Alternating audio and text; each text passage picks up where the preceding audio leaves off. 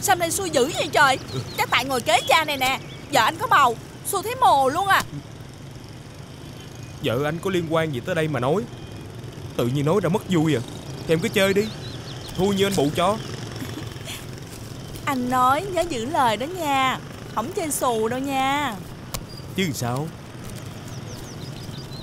Cha tám tàn á Chết mê chết mệt mày rồi liễu ơi Mày coi chừng á. Cái quán này có ngày cháy lớn. Tám tàn đâu rồi. Tám tàn đâu rồi. Trời. Mẹ Con cặp cái nhà anh tới. Trời ơi Linh thiệt luôn á. Mới nhắc mà sư tử có mặt rồi. Tám tàn đâu? Tám Nè, tàn nè, nè, ông nè, đâu nè. rồi? Bà kia. Tám tàn. Nè Ông Tám không có ở đây. Tao biết ông có ở trong đó. Mày kêu ông ra đây cho tao. Tôi nói rồi là ông Tám không có ở đây Bà có giỏi á thì bà vô bà tìm đi. Nhưng mà tôi nói cho bà biết trước nha Bà kiếm không ra ổng Bà tính sai với tôi Sợ chồng đi lạc á Thì lấy dây mà trói lại. Ở chỗ này á Toàn là ma nữ mà Cám dỗ dữ lắm Làm sao mà chịu nổi. Tôi nói á Mà bà đâu có nghe. Trời ơi là trời Cái thằng chồng trời đánh Có một đôi bông tai năm phân Để dành bán đi sanh đẻ.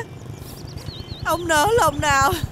Ông bán rồi ông cúng vô cái động này. Trời ơi Ông tám thằng đâu rồi? Ông ra đây cho tôi. Sao mẹ con tôi khổ quá? Ông tám thằng ơi Nè ông bà đâu nội. rồi? Chỗ người ta buôn bán bà làm gì đứng ở đây mà khóc bù lu bù loa vậy? Tôi đi tìm chồng tôi. Nè nè nè. Tôi nói bà rồi nha. Cha tấm tài làm gì có ở đây Bà đi chỗ khác mà kiếm đi. Đứng đây quậy một hồi mà tôi không buôn bán gì được Thì bà coi chừng tôi đó nghe. Đi về đi. Về em. Cho em chơi chút xíu nữa đi. Có khi nào em sanh con trong sòng bài luôn không? Hả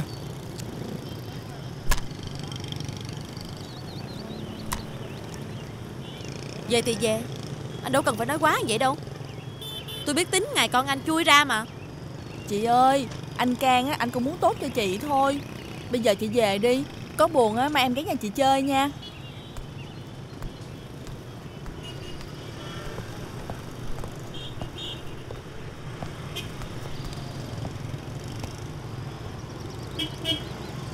Em thèm ăn cái gì anh chở đi ăn nha.